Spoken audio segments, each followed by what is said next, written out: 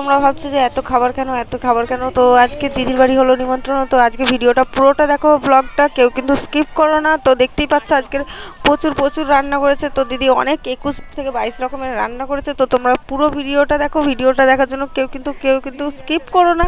Please please তোমরা দেখো একটুকুনি দেখো। তোমরা না দেখলে কি হবে বলো? তাই না?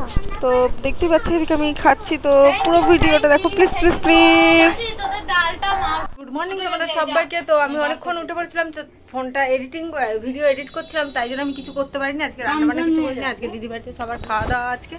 তো দেখতেই পাচ্ছি এদিকে আমি স্নান করে রেডি হয়ে গেছি একেবারে। তো রেডি হয়ে গেছি বলতে বোনও এদিকে রেডি হচ্ছে তো ওরা রেডি হচ্ছে। সে যখন যাবে না দিদির বাড়ি ও তো কোথাও এমনি যেতে চায় না। তো আমি এদিকে সানবান করে আমি ড্রেস ফ্রেস পরে নিয়েছি দেখতেই পাচ্ছ। আর খাওয়াও হয়ে গেছে এখন আমি দিদির বাড়ি এখন যাব না এখন কাজ থেকে যাব। কাজে যাব, কাজ থেকে দিদির বাড়ি যাব টানা, তো চলো রেডি হয়ে যায় আমি ড্রেস পরে নিয়েছি দেখতেই পাচ্ছ? তো চলো, এখন আমি কাজে যাব, কাজে গিয়ে একবারে কথা বলব, প্রচুর রোদ দিয়েছে। তো দেখতেই পাচ্ছ, আমি এদিকে কাজে চলে এসেছি, তো কাজে এসেই তো মানে দেখতেই পাচ্ছ, এদিকে স্যার আমি কাজে এসে মানে কাকিটা আসেনি, তা আমি দোকানটাকে ভালো করে পরিষ্কার করে নিলাম। তেমনভাবে কোনো কাজের চাপ ছিল না আমাদের আজকে, তো কদিন ধরে তোমরা তো বুঝতেই পারছ, এদিকে আমি রেডি হয়ে এদিকে আমি বসে আছি, আর ওদিকে স্যার বসে আছে। তো আমি বসে বসে খালি আমি নিজের ফটো তুলছি, দেখতেই পাচ্ছ আজকে আমার পড়েছে, একটু সাজুগুজু করেছি। স্যার বলছে, কি ব্যাপার রোজি? আজকে একটু সাজুগুজু করে এসে। আমি স্যার দিদির বাড়ি যাব আমি। তো দেখতেই পাচ্ছ, এদিকে বাইরের ওয়েদারও মানে একটু মেঘলা মেঘলা হয়ে আছে, তো আমি অনেকক্ষণ বসে বসে সময় কাটাচ্ছিলাম আর ওদিকে স্যার বসেছিলাম আমি খালি হাসছি।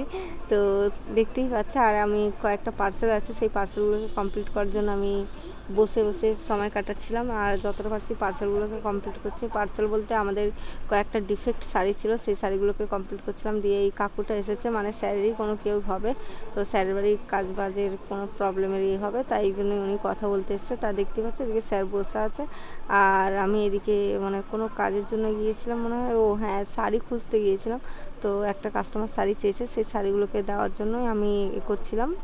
দেখছি এদিকে স্যার শাড়িগুলোকে দেখি বেছে রেখে দিয়েছে, তো ভালোই হলো, আমিও খুঁজলাম, ওদিকে স্যারও খুঁজলো, তো কয়েকটা শাড়ি পাচ্ছিল না, সেই শাড়িগুলোকে আমি করছিলাম মানে হাসিও লাগছিল, তো দেখতেই পাচ্ছে গাইস আর এখন আমি বসে পড়লাম যে কাস্টমারটাকে ওই বিল পাঠানো ছিল, তাকে বিল পাঠাবো আর অ্যাড্রেসটা লিখব, তো দেখতে পাচ্ছ এই যে আমি কাগজ নিয়ে নিয়েছি, এবারে অ্যাড্রেসটা লিখে নিই।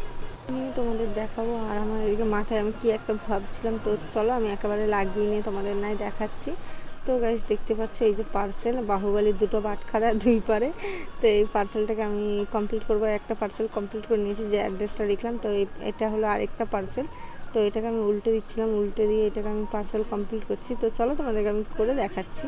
তো গাইজ দেখতেই পাচ্ছি এই যে বাটখারার মতো পার্সেলটা আমি কমপ্লিট করে নিয়েছি। তো এটাকে হাওয়া মানে হয়ে গেছে তার হাওয়া কমাচ্ছিলাম আমি মানে মোটলাম হয়ে গেছে। এই যে দুটো পার্সেল আমার কমপ্লিট হয়ে গেছে তোমরা দেখতেই পাচ্ছ। তো চলো এখন আমি ব্যাগ গোছাবো মানে বাড়ি যাব। মানে বাড়ি বলতে দিদির বাড়ি যাওয়ার কথা ছিল তো আকাশটা মেঘলা হয়ে আছে জানি না কেমনই হবে তো আমি তোমাদেরকে বললাম ওই জন্য আমি পুরোপুরি রেডি হয়ে এসেছি। আমি এদিকে বেরিয়ে পড়লাম দেখতে পাচ্ছি এদিকে স্যার আছে আর এদিকে আমি বেরিয়ে পড়েছি এই যে হলো আমার সাইকেল তো এখন এই যে আমি এদিকে জুতো পরছিলাম তো হাসি লাগছে বড্ড। তো জুতো পরে এখন এগোচ্ছি, দেখতেই পাচ্ছ বাড়িতে। আর না, এদিকে রাস্তা শুকনো ছিল আর ব্রহ্মপুরে ওখান থেকে না বৃষ্টি হচ্ছিল মানে পুরো আকাশ মেঘলা হয়ে আছে, জানি না দিদির বাড়ি যেতে পারব কি না তো চলো, এদিকে বৃষ্টি হয়েছে, পুরো রাস্তা ফাস্তা সব পুরো ভিজে। তো দিদির বাড়িতে আজকে রাখি পূর্ণিমা আছে, ওই কারণে দিদির বাড়িতে আমাদের ফ্যামিলির সব ফ্যামিলি পুরো খাওয়া দাওয়া তো আমি সেই কারণেই একেবারে রেডি হয়ে বেরিয়ে পড়েছিলাম। তো এদিকে বৃষ্টি ভালোই হয়েছে দেখে বোঝা যাচ্ছে রাস্তাঘাট পুরো ভিজে। আর একটু একটু বৃষ্টিও পড়ছিল, তাও আমি ভিডিও করেছি, তো তোমরা দেখতেই পাচ্ছ। এটা আমাদের মানে বাড়ির কাছাকাছি আমি চলে এসেছি, আর এই যে আমাদের পাড়ার মধ্যে আমার মুখ দেখা দেখেই হাসি লাগছে। সাইকেল চালাচ্ছি এক হাতে, আর এক হাতে ভিডিও করছি তো এটা হলো আমাদের পাড়ার রাস্তা, দেখতেই পাচ্ছ। তোমরা তো দেখতেই পাচ্ছ এখানে বড় বড় গর্ত খোলা, এই খোলা। চারদিকে জল জমে যায়, কি বলব তোমাদেরকে? তো সরকার যদি আমাদের এদিকে রাস্তাগুলো ঠিক করে দেয়, তা ভালোই হয়। তো চলো, একেবারে ঘরে গিয়ে কথা বলছি। তো দেখতেই পাচ্ছ আমি বাড়ি চলে এসেছি, এসেই তোমাদের সবাই, তোমরা সবাই কেমন আছো? তো চলো, আজকে আমি যাব দিদির বাড়ি, যাব বলেছিলাম, কিন্তু আমি দিদির বাড়ি টানা আমি বাড়ি চলে এসেছিলাম। ঘুমিয়ে পড়েছিলাম, তো এখন ঘুম থেকে উঠলাম, এখন দিদির বাড়ি যাব ফ্রেশ হয়ে, তো মা বাইরে আছে। তো চলো এখন বাজে সাড়ে ছটা আমি রেডি হয়েছি ঝটপট করে।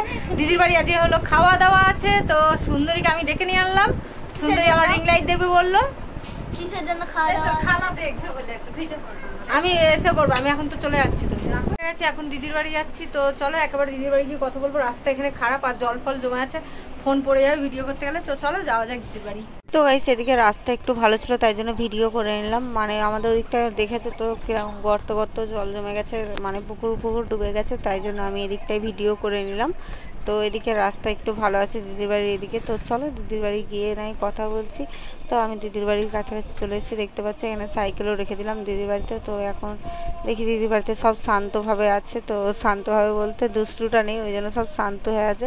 তো দেখ ঘরের ভেতরে ঢুকে দেখি দিদি আছে আর জামাইবু আছে। তো এদিকে দিদি চুল আঁচড়াচ্ছিল আর এদিকে আমি কথাবার্তা বলছিলাম দিদি জামাইবুর সাথে। তো দিদিকে বললাম, চ, কয়েকটা ফটো তুলে নিই তো দিদি বলল, আমি ফটো টটো তুলবো না, আমি এদিকে কাজ করছি। তো আমি এদিকে দিদি কাজ করছিল। তো দিদি সব রান্নাবান্না কমপ্লিট করে নিয়েছে। তাই এদিকে দিদির মেজো ননদ এসছে। এটা মেজো ননদের ছেলে দেখতেই পাচ্ছ।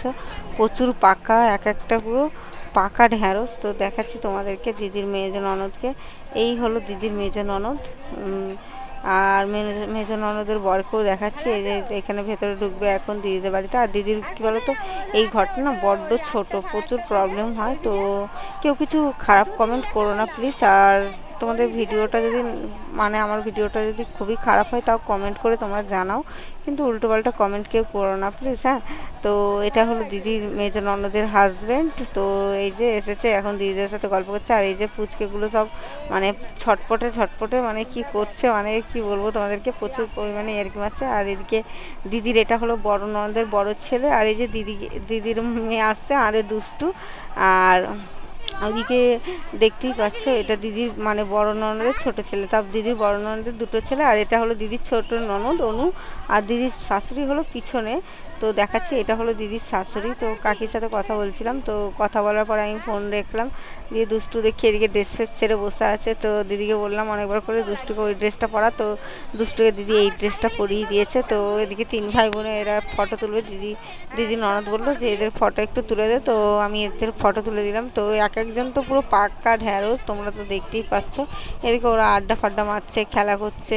তো ওদের সাথে সাথে আমি একটু খেলা করলাম অনেকক্ষণ ধরে। তো এখন আমার ছোট বোন আসেনি, ছোট বোন গেছে পড়তে। আর বোন তো এমনি কারোর বাড়িতে যেতে চায় না, তোমরা জানো, আর ও এসব পছন্দ করে না। তো এদিকে দুষ্টু দেখতেই পাচ্ছ। আমার সাথে খালি পাকে খালি মানে কি বলব তোমাদেরকে?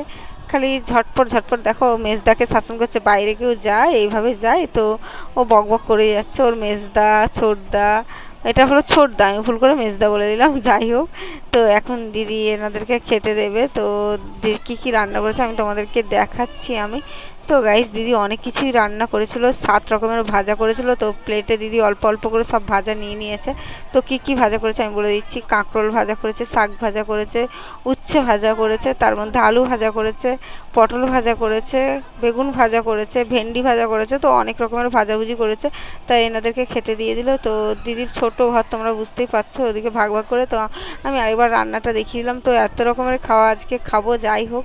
তো আমি অনেক দেরি করেই খাব, তোমরা বুঝতেই পারছ। আর এদিকে দিদির মানে ননদরা খাচ্ছিল, খাওয়ার পর এদিকে আমি দুষ্টুকে নিয়ে আড্ডা দিচ্ছিলাম। তো এদিকে ওর দিদিদের খাওয়া হয়ে গেছে। হয়ে যাওয়ার পরে দিদির বড় ননদ আর মেজো ননদ বসবে। আমাকে বলছিল খেতে আনছি না, আগে তোমরা খেয়ে নাও। আর ছোট জায়গা তো, দুজন, তিনজন করে না বসলে না ওরম করে হবে। আর এদিকে আমার ছোট বোন পড়ে টরে চলে এসেছে। জামাইবু ছোট বোনকে নিতে গেছিল। তো আনতে গিয়ে বোন চলে এসেছে, দেখতেই পাচ্ছ এই যে বোন। এসে জল খাচ্ছিল। তো এদিকে ওনারা খেতে বসছে তো এদিকে আমার আমি এবারে খেতে বসেছি, তো দেখতেই পাচ্ছ কি কি রান্না করেছে দিদি। তো খুব মন ভরে খেলাম দিদির বাড়িতে। তো কি বলব তোমাদেরকে আমার খাবারগুলো আমি আমি খাচ্ছি আর ভিডিও করছি জামাইবু তো হাসছে। তো কী কী রান্না করেছে আমাদের মাছের মাথা দিয়ে ডালটা তো দারুণ করেছে। আর ওই যে ঝুড়ি ঝুড়ি আলু ভাজা হলে তো আমার আর কিছুই লাগে না। বাড়ি চলে এসেছি, দেখতেই পেলে? তো আজকে অনেক এনজয় করলাম। তো আজকের ভিডিও এই পর্যন্ত। আমি এখন ড্রেস ছেড়ে ঘুমাবো। তো চলো, আজকের ভিডিও এই পর্যন্ত। আমার ভিডিও যদি তোমাদের ভালো লেগে থাকে একটু, তবে লাইক কমেন্ট শেয়ার করে দেবে। তো tata bye bye good night bye